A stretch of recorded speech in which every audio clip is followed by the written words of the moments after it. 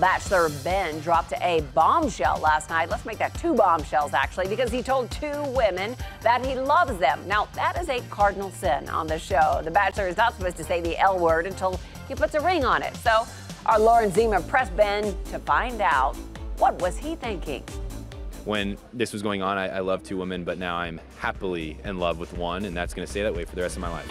That is so sweet of him to say. I mean, not, not that he's talking about me, but if he were, and maybe he is, I'm not going to say, you know, because, you know, I'm not allowed.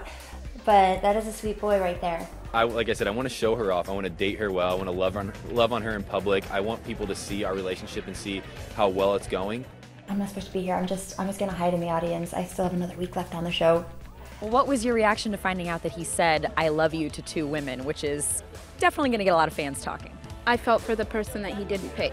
He felt bad for one of us, you know, and he was just trying to protect her feelings. I don't blame him. I mean, I've been in love with two women. I've been to college, you know.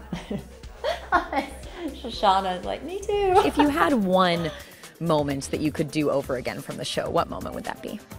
I, I think I would just would have shut my mouth in Mexico City with Amanda. I wish I hadn't glued my eye shut that one time because I did lose a few lashes. I guess I do have one regret, and I, it's not. It's that uh, that I didn't get things off my chest as soon as I felt them. Ooh, I wish I'd been a dentist. I kind of wish I'd had a twin. It's sort of sexy, and also you don't need a job.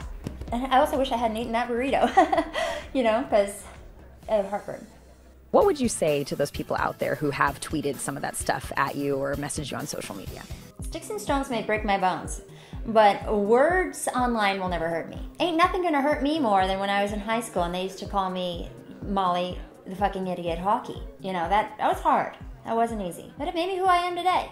Everybody has talked about how it would be great to see a black woman be a bachelorette, the bachelorette. Would you ever take on that role?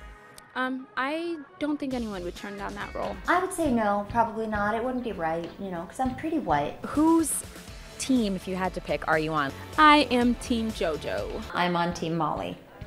Okay? SMH. SMH. So much right now.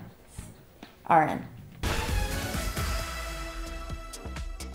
What's the ETA on this marriage?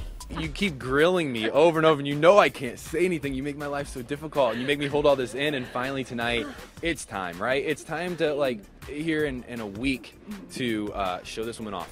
He's not talking about me. I mean, he might be. I'm not allowed to say.